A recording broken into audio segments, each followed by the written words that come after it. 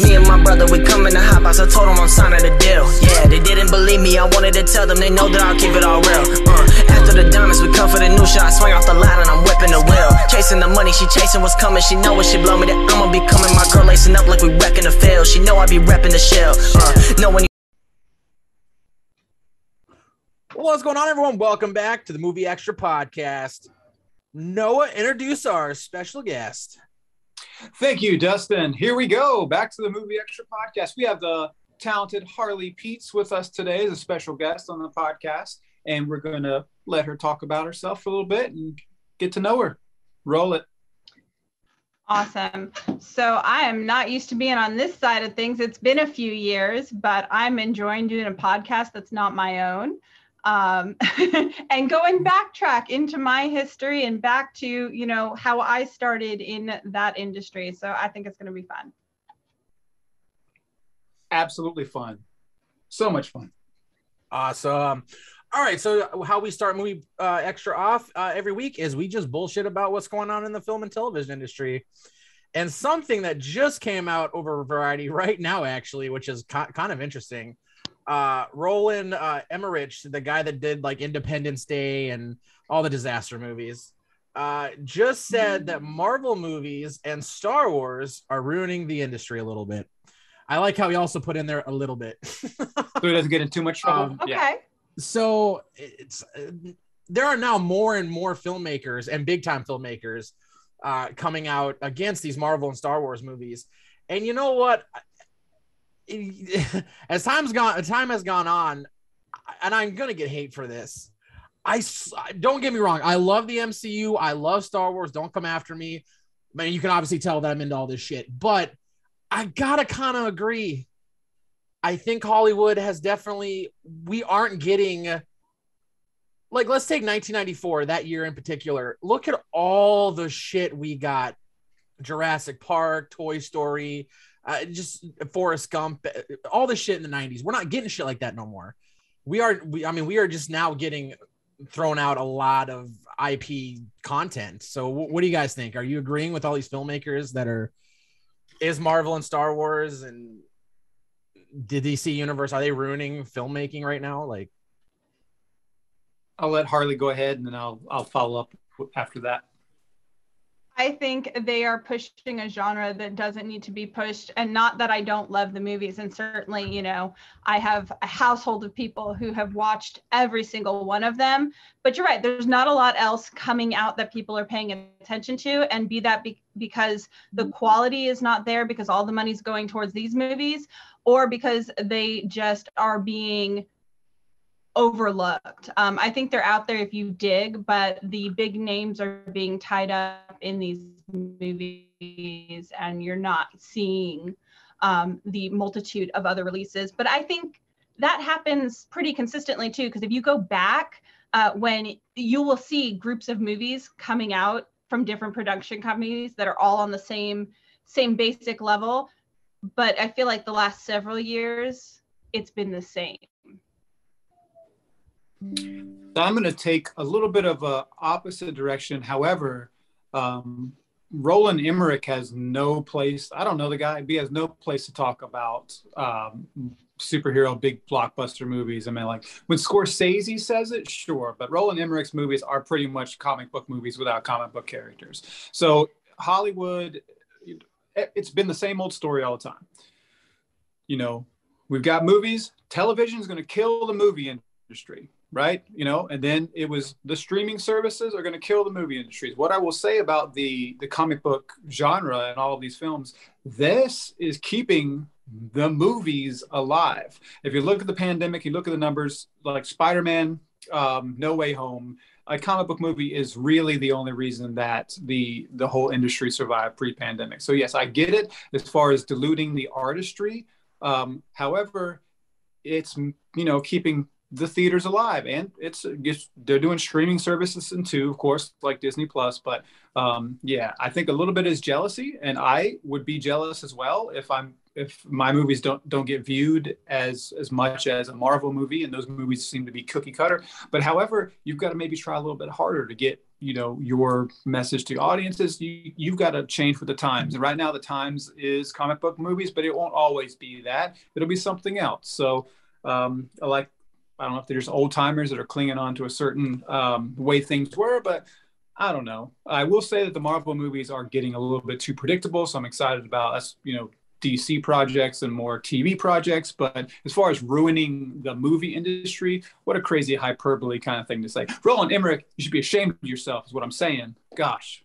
Yeah, I'm not gonna lie, Spider Man did save the film industry this year for sure. Sure did. Um, it's uh yeah because you know back in the day uh roland uh, especially his day after the, day after tomorrow independence day these were the some of the biggest movies of the year.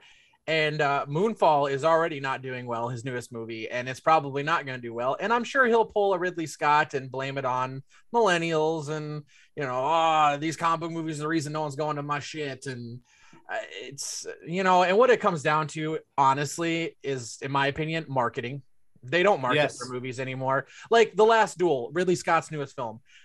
I didn't see a single piece of marketing for that movie. like, Just one you, trailer. Yeah, and you expect people to, you know, especially in a pandemic, rush out to see your movie that no one knows about. So it's yeah, I don't know. It's uh, but I will say it's we're not getting as much as we used to for sure. Um, True. So yeah. All right, y'all. Um, all right, so let's uh that's really all that's going on today, by the way.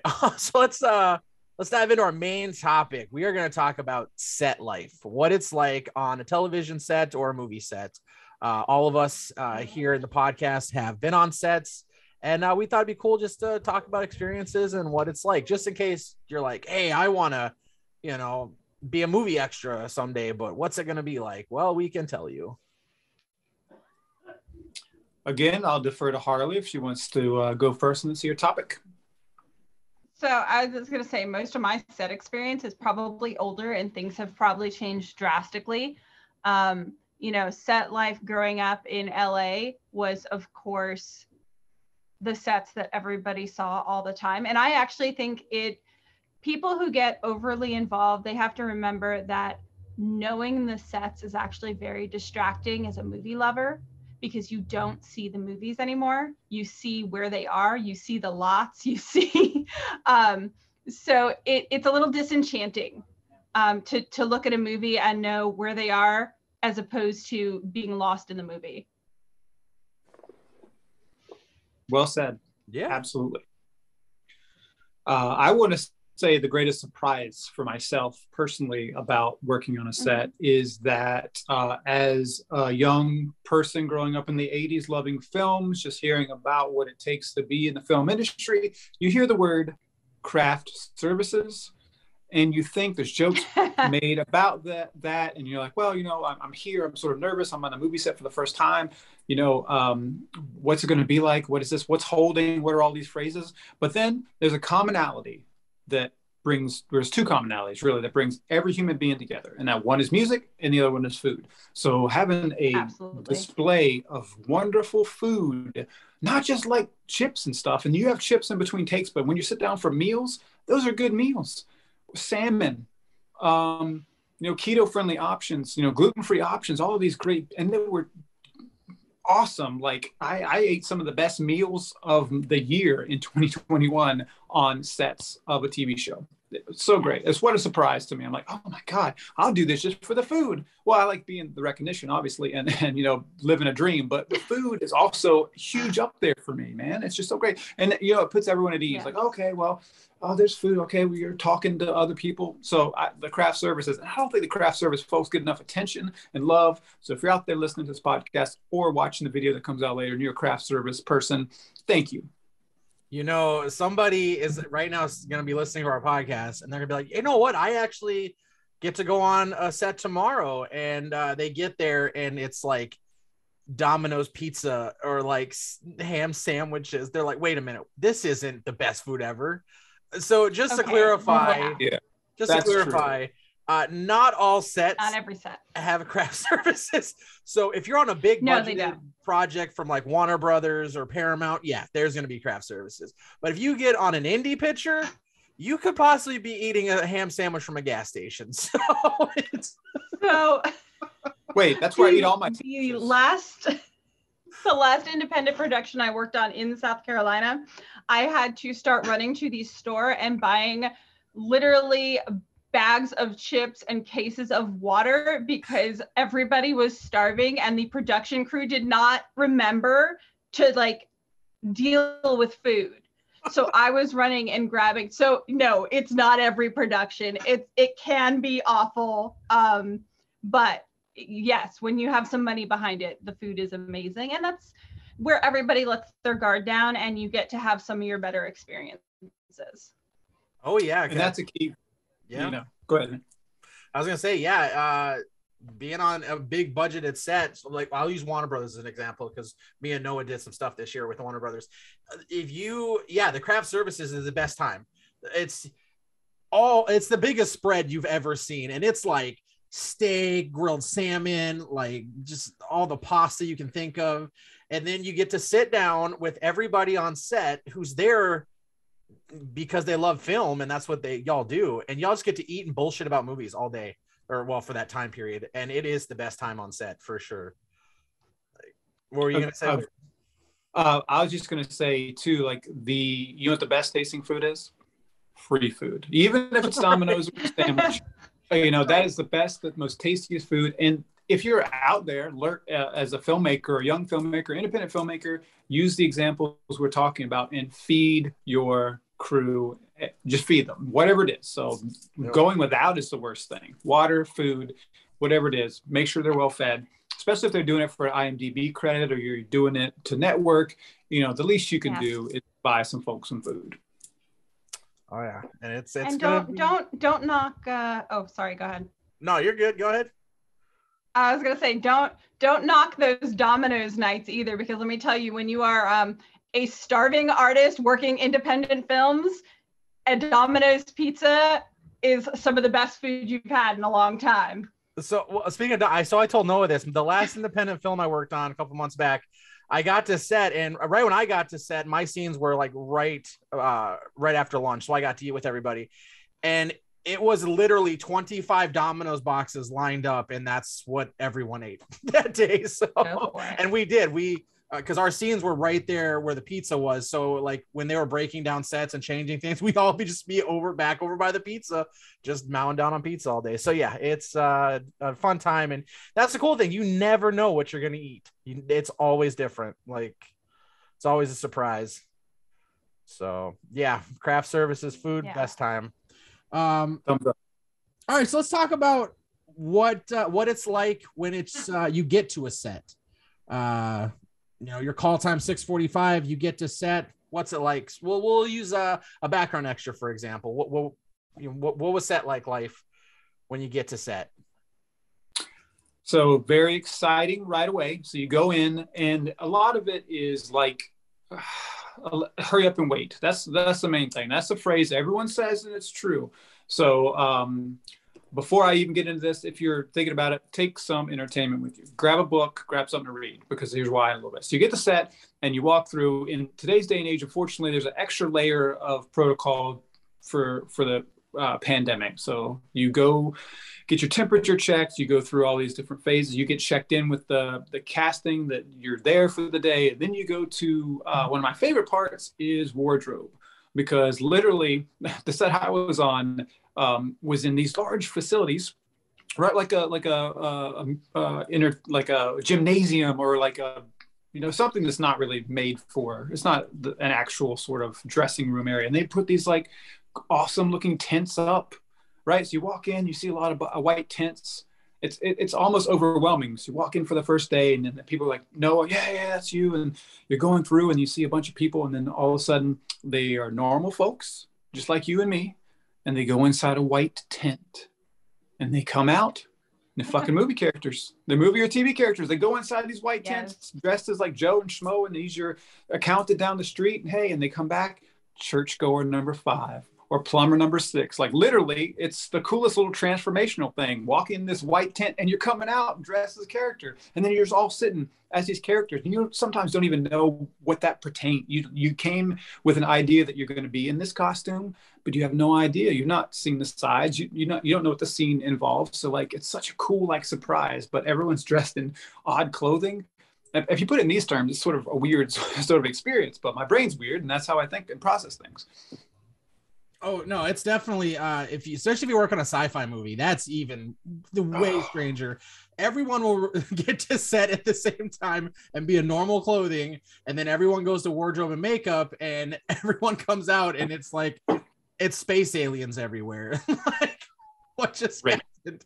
And then uh and then yeah, after wardrobe and hair, you usually go to a holding room until you're called for your scenes, and that's when everyone's hanging out and stuff. And, and yeah, so definitely Noah's right. Bring a book, bring something because sometimes your wait time can be like eight hours, 10 hours. It's, uh, and one of the last projects I did this year, my longest wait time was eight hours because they had to redo scenes. And uh, so thank God I had my phone and I could play some of my phone games, but you know, some of the wait times are pretty ridiculous.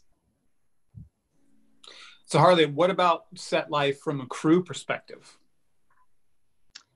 So it's a little bit different, although I will say I have a couple of times done done the um you know everybody getting dressed every but I did a lot of like prop management. I did a lot of location scouting um things like that. So I didn't I don't like usually like the front of the camera. Um so I'm I'm usually on the other side. It is they're very long hours. You are there before everyone you are there after everyone. Um, you you find a chair to sleep in and nap when you're not needed. Um, so but you know you don't usually have the downtime that you do uh, being an extra or waiting for scenes or things like that because they're usually using you throughout the day. Um, scouting's a lot more fun. Scouting you know you're doing on your own time and so you, you're not on anybody's schedule. But as far as um, technical work it is very busy very long hours.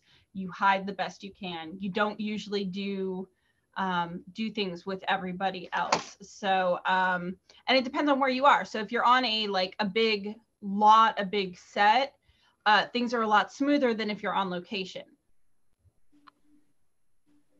True. So Very it's, it's very time consuming it's Very true. Yeah, uh, we'll use PAs as an example. That's they're the unsung heroes. Yeah, they don't get breaks. They are. You have a 12 hour day. They're literally working for 12 hours. They're well, I mean, they get breaks for lunch and stuff, but yeah, there there's no downtime there. Uh, camera grips. Uh, yeah, so uh, extras and, and the actual actors are the ones that get the get the downtime. So definitely not crew. Uh, and location, yeah, location that's that's a that's a pretty sweet job. If anybody can ever do that that's where you're going out and you're finding the locations to shoot the films and uh yeah that would be a and they're much easier now to do than it used to be then because you were taking literal pictures of things and having to go get them developed and sending them off. You know you didn't you couldn't like Oh. snap a picture with your phone and move on. I mean we're talking about i was doing location scouting years ago um, and even still until recently they wanted to kind of physically see everything. And then you you know you moved on to video video work and they wanted to see it that way. Um, i've not done any location scouting on the east coast um, and i've not looked into doing it but i imagine doing stuff around here would be real fun to try to find places.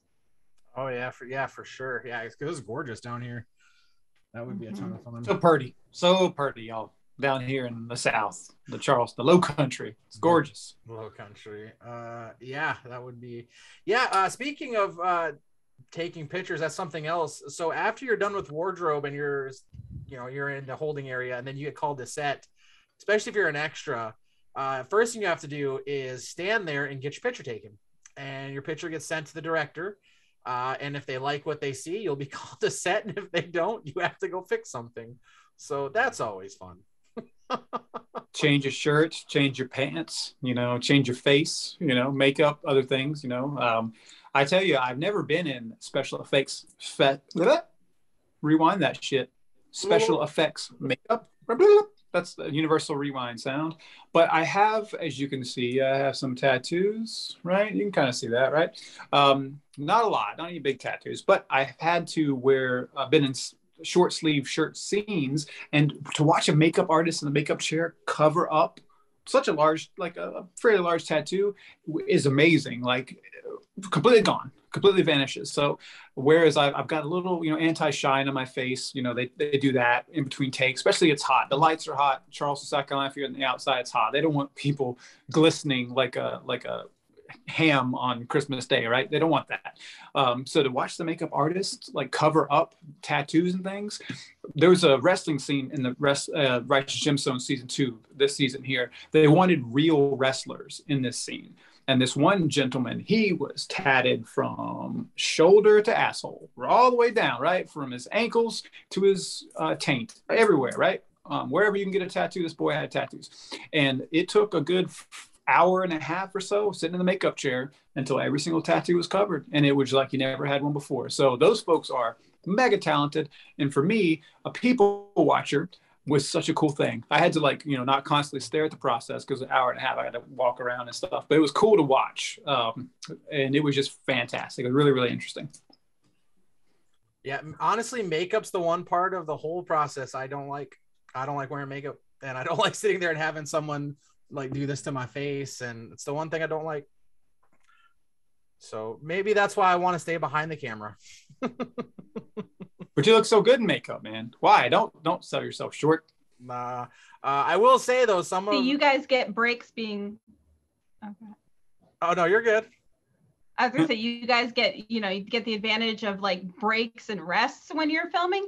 I don't have to wear makeup and I don't have to you know get lights in my eyes all day long. So I I think I still win. Uh, yeah. Oh yes. Light. Oh man. That that yes. Having lights in my face. I don't like that either. Um, but I will say some of the coolest conversations I've had on film sets were in the makeup chair. Uh, the makeup people, the uh, hair people, even wardrobe people, they are they're just awesome. They seriously the funnest people. Uh, yeah, definitely some of my favorite times. So so great. Yeah, tell your story real quick about. Um, I don't know if you told it on episode one. And again, guys, we're all humans. Uh, we're telling fantastically fun stories, and they may overlap some, but you know that you're here for it. You're here for the the vibe. So uh, tell the folks about um, your wardrobe story about that one suit.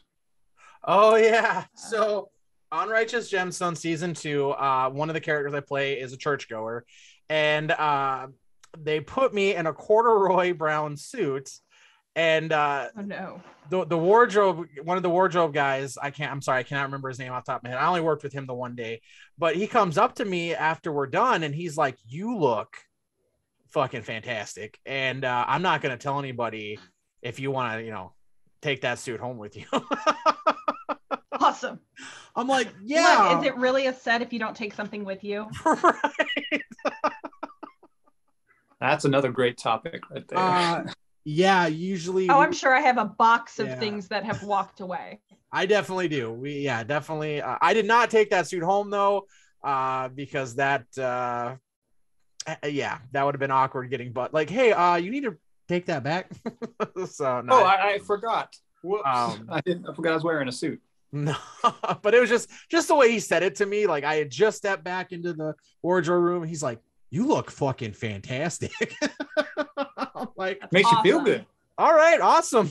like, that's that's uh, great to know. so, but now I did not. Uh, you know what? I don't think.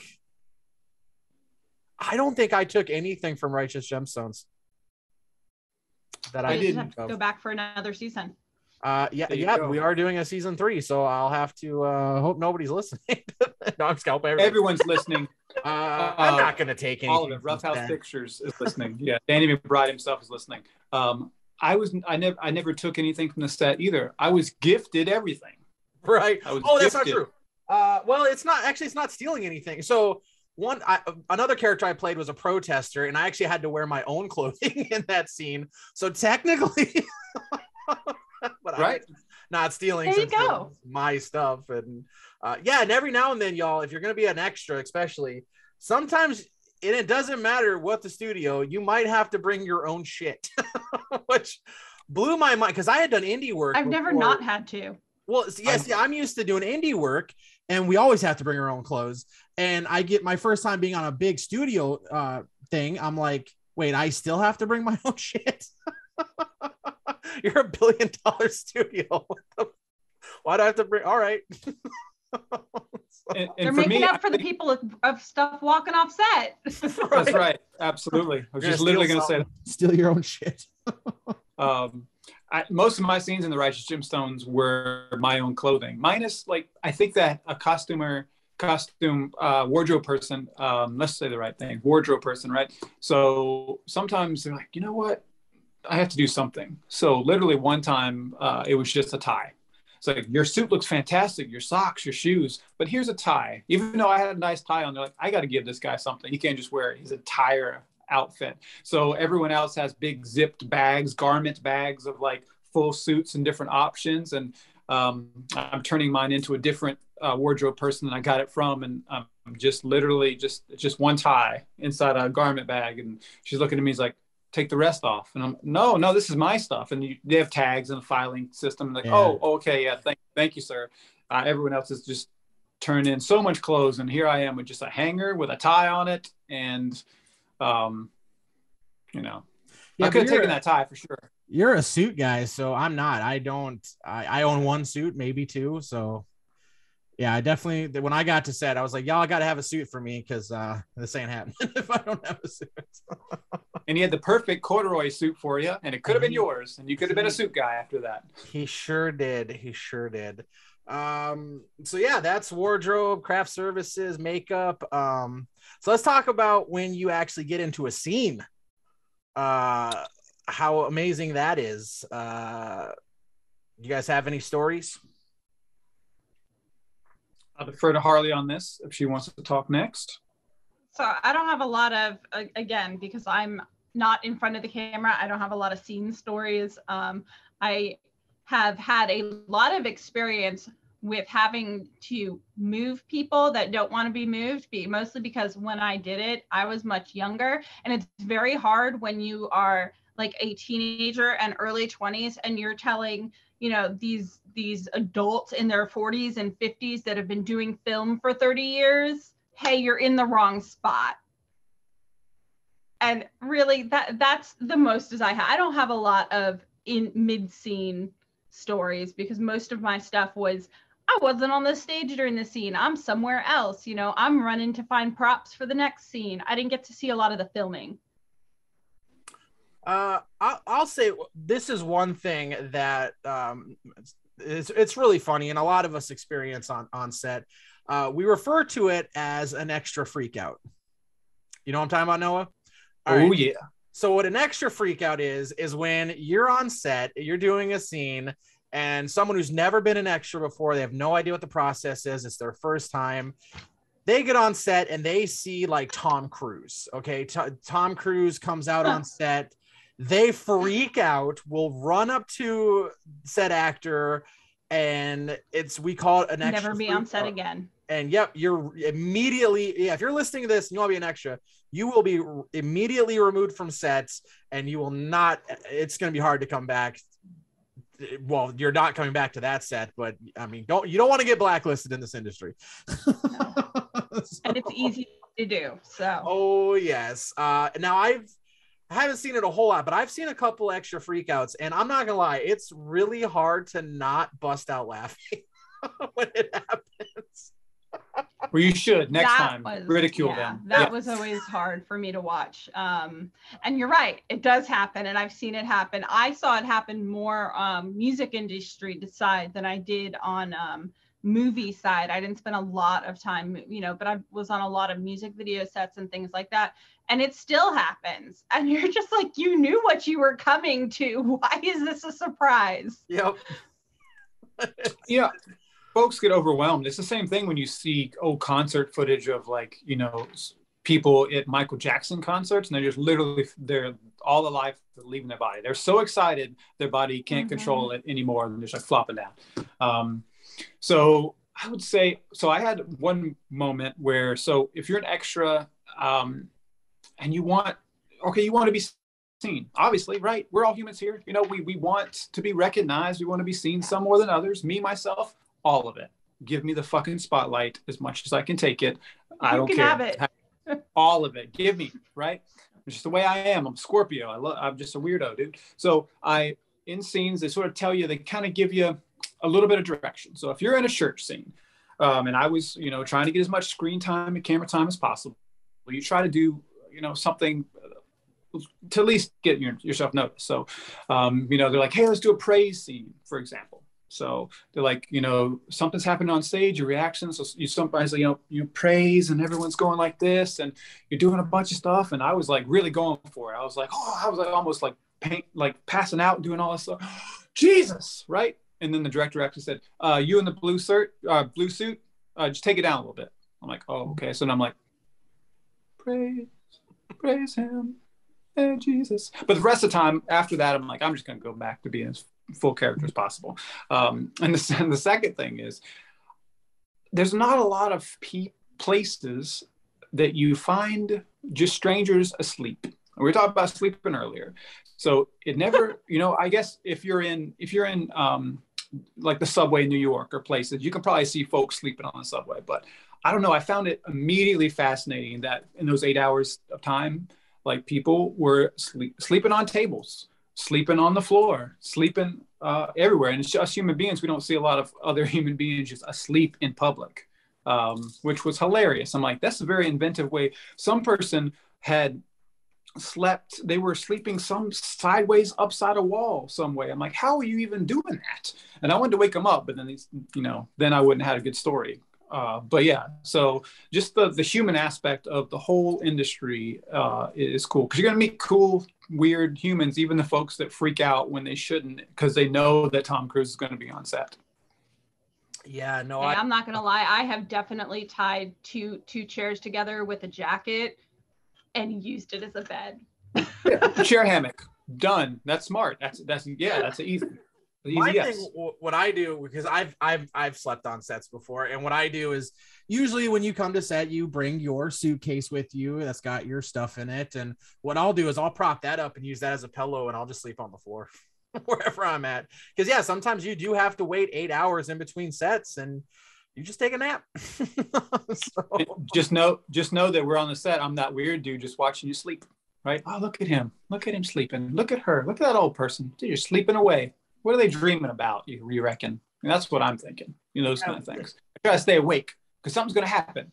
Because as soon, soon as they say, "Hey, we're going to set now," my ass is up off that chair and I am first in line because I want to be right there, right there in the front. So I gotta say, on smaller projects where there's like maybe ten of us, I, I'm I sleep a lot easier. But when it's when there's 200 extras around, it's a bit nerve wracking to be like, all right, somebody's gonna mess with me.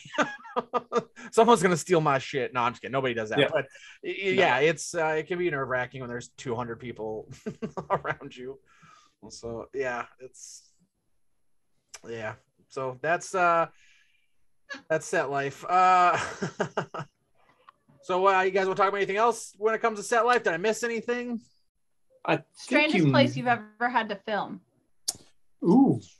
Ooh, strangest place. Uh, hmm.